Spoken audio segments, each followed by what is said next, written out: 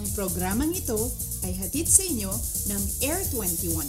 Sagot ko, padala mo.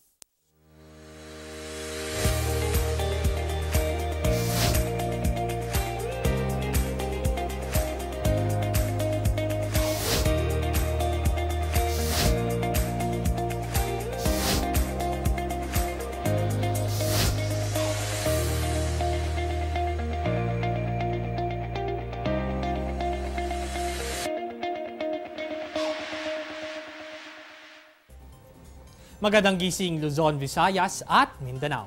Biyernes na naman at panigurado marami sa inyo ay excited na magpahinga o mamasyal sa darating na weekend. Pero bago mag-enjoy sa mga sikat na pasyalan, importanteng malaman muna ang magiging lagay ng panahon. Live mula sa Pag-asa Weather and Flood Forecasting Center, ako ang makakasama nyo ngayong Biyernes, October 19, 2018, Patrick Obsuna. At ito ang Panahon TV. Isa ka ba sa mga masisipag na estudyante na maaga pa lang kumigising na para mapaghandaan ang pagpasok sa eskwela? Umantabay sa magiging lagay ng panahon at sabayan ang ganda ng pagsikat ng araw sa ganap yan na 5.48 na umaga at ang sunset 34 na minuto makalipas sa alas 5 ng hapon.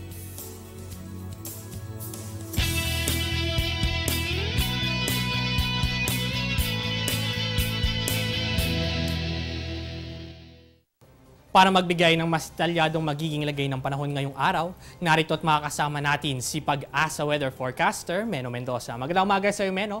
Para sa mga kababayan nating papasok pa lang sa kanilang trabaho o eskwelahan, Meno, ano ba ang magiging lagay ng panahon ngayong araw at pakidagdag mo na rin kung may nakataas bang gale warning sa mga baybaying dagat ng bansa. Magandang umaga din uh, Patrick at magandang umaga sa ating mga kababayan. Para naman sa magiging na ating panahon sa araw na to, patuloy pa rin nakakaapekto itong ating Intertropical Convergence Zone o ITCC dito sa probinsya ng Palawan at kaya na rin dito sa Mindanao.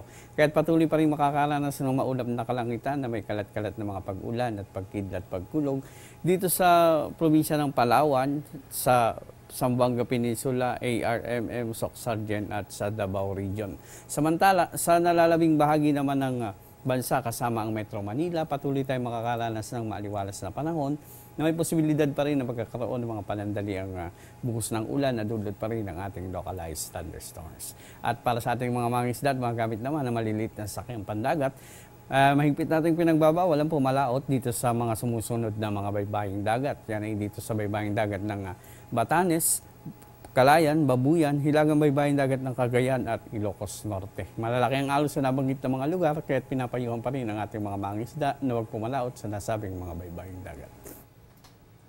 Meno dahil ITCC o Intertropical Convergence Zone ang nakakaapekto sa bansa, marami ang nagtatanong kung bakit nga ba ito nagdadala ng mga pag-ulan tulad ng hanging abagat. Ano nga ba ang pagkakaiba ng dalawang weather system na ito?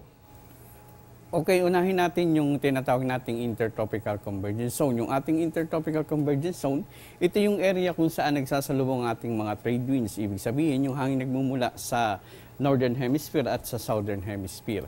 At dahil magkaiba nga ang direksyon na sabing mga hangin, ang ating hangin nagmumula dito sa Northern Hemisphere ay uh, may direksyong uh, hilagang uh, silangan, samantalang dito naman sa Southern Hemisphere ay timog silangan. Ito yung nagko-collide at nagkakaroon tayo ng maliliit na mga low pressure area kung saan alam naman natin pag may mga low pressure area tayo nagbubuo ng mga kaulapan na siya rin pinanggagalingan ng ating mga bagyo. Samantala ang ating namang habagat, ito yung nabubuo ano, ang ating habagat nanggagaling yan dito naman sa may Indian Ocean at dahil nga ang hanging habagat ay may eh, maraming dalang moisture at uh, pag ganitong panahon naman yung mga summer months ay mainit ang ating uh, kalupaan at pagdaan ng ating habagat ay naiinitan ito at nagkakaroon ng evaporation kaya nagkakaroon tayo ng mga uh, kaulapan na nagdadala ng mga pagulan.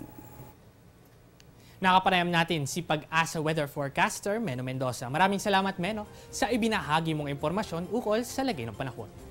Bubuti na ba ang lagay ng panahon sa inyong lugar? Alamin ang magiging lagay ng panahon sa piling lugar ng bansa.